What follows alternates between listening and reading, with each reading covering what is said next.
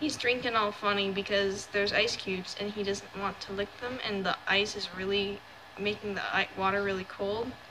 So he started drinking like this instead of like putting his face in the bowl like he normally does. He's got an extra long tongue today. Are you a cutie?